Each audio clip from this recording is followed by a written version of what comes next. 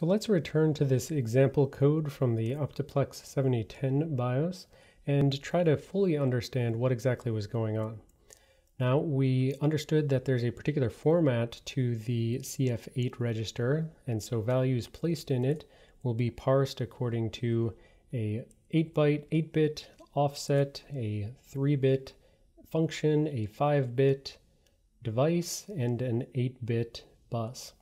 So basically we decoded that before to bus device function offset 0310 F0. And so how would we figure out what this is? Well, we would of course read the fun manuals. So specifically the PCH datasheet, and we had found that this bus 0, which we said Intel reserves for its own use, bus 0, device 31, function 0 was the LPC interface. Now, if you happen to be one of the students who had a 7010 in front of you, then you could just use the typical device ID lookup, looking at offset 2 in the configuration address space where you find the device ID. But I didn't actually have a, one of these yet when I was first making these slides, so I just Googled it, and Googling it, you can find this link, which tells you that this is a 7 series PCH. So that's the datasheet which you're going to want to look at. Once you open up the 7 series datasheet, you're going to find this on the sidebar, which is the LPC interface. You can see that there's many different devices here specified. So you can see device 30, function 0, device 31, function 0, device 31, function 2, 5, etc. So when you see that, what you're going to see is a whole bunch of PCI configuration address space specified. So, right, offset 0 is the vendor ID, which will always be 8086 on Intel hardware. Offset 2 is the device ID, which we used for identification. So it's just a whole bunch of, you know, 256 bytes of PCI configuration address space, which is here to tell you how Intel has chosen to place information in here. Now, we actually saw this before at the very beginning when I was just kind of throwing labs at you, even though you couldn't possibly understand them. We said, you know, what if I told you that you could partially control memory to flash mapping? And in this lab, it was this offset D8 and D9 inside of the LPC interface, which was the BIOS decode enable. That was that thing that basically allowed you to unmap certain portions of the physical RAM, sorry, physical memory to flash access and basically you couldn't unmap the very end, you couldn't unmap FFFFF, etc., but you could unmap something that was further down. So back then, what we were seeing here is we were looking at the configuration address space of the LPC device, didn't know what we were doing or why we were doing, but basically that is what was happening then. Now this is actually where we're trying to get in this class. This is the BIOS control register. This has to do with access controls. We said we're on our way to flash access controls, and we said we needed you to learn about all this stuff like PCIe, configuration address space, port I.O., memory mapped I.O. So you can see that here this is. That's where we're trying to get to, one of the places we're trying to get to. And, you know, that's why we need to understand this. But for now, let's continue to just explain what, what was happening in those first few assembly instructions and why uh, the Dell BIOS might have been accessing this offset F0 inside the LPC configuration address space. So that is something called the root complex base address. So let's look at that.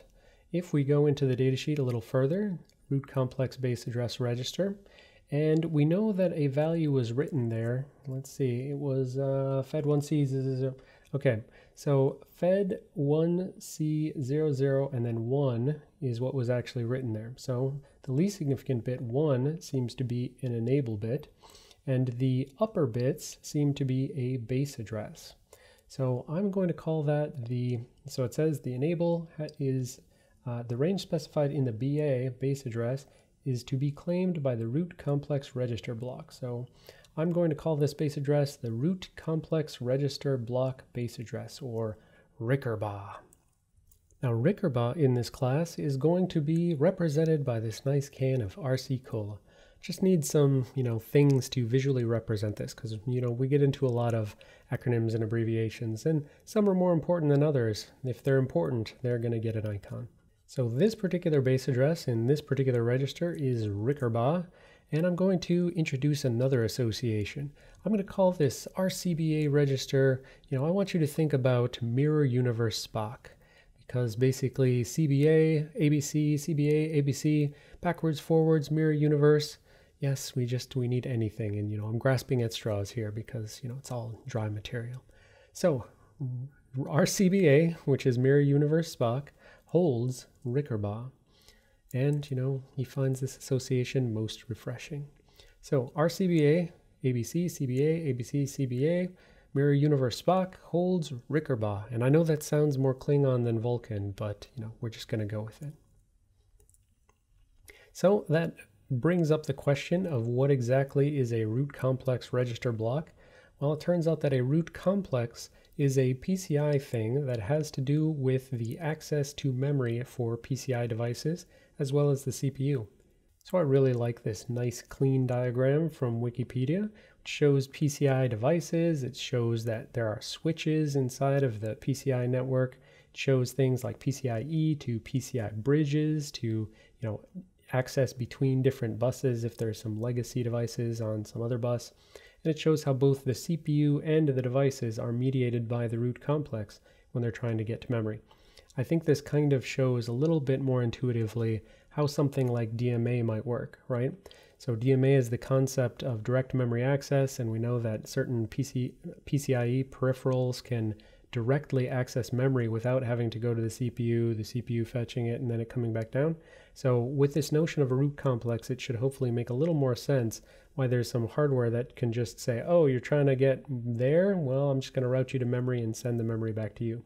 Again, that's for things like, for instance, a NIC card, which needs to read and write packets. So the CPU might put some packets in here, and then the NIC card is just reading and writing them. So reads them in order to send them out of the network and writes them to put a buffer of new incoming packets there for the CPU to check at its leisure. But so this uh, root complex register block, uh, back in the old data sheets, they showed it a little bit nicer. Don't have a really good way to see it in newer data sheets.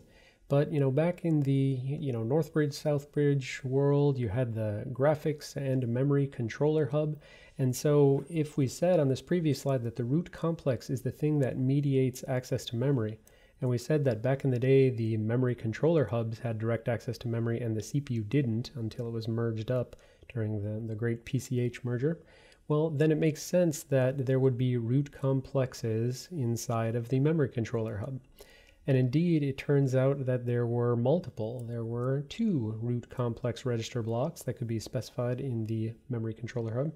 One for the egress port, meaning the access to main memory, and then one for DMI, which is that connection, that interface down to the ICH back then.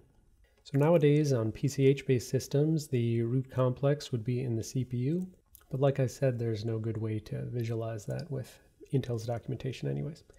So what exactly is this Rickerbaugh and Mirror Universe Spock up to? And you know, why would Dell be setting this particular value? So we had device 31 function 0 and offset F0. So offset F0 is RCBA, CBA, ABC, CBA, ABC, Mirror Universe Spock, which holds Rickerbaugh. And so what Dell was doing is they were writing a Rickerbaugh value of, you know, Fed1C000. And so that Rickerba is the root complex register ba uh, block base address. So we want to see what this root complex register block is. So it's some chunk of memory mapped IO. And Dell had written some particular base address to say, I want this memory mapped IO range to be at Fed1C000. So what's inside of the root complex register block? A whole bunch of registers. Yay! You know, it's just, you know, registers within registers within registers. So there's a whole bunch of stuff there, and most of it we don't actually care about. But later on, we said that we're trying to get to the SPI, the flash access control mechanism. So later on in the SPI section, we're going to, you know, start at this diagram, and we're going to see that inside the root complex register block, for some older machines, not the newest machines, but some older machines, at offset hex 3800, there's going to be some particular memory mapped I.O. registers that have to do with reading and writing the flash chip. So because of that, I want you to go ahead and look up your Rickerbaugh right now. And so if you go to your datasheet and you find device 31 function 0 offset F0 doesn't actually have the RCBA, then that's fine. That means you're probably running one of these newer systems, you know, a sixth or seventh generation core or a greater than 100 series PCH. So that's fine. You don't need to write it down. But for everyone else, if you go to offset F0 and you find your Rickerba, write it down because you'll need it later.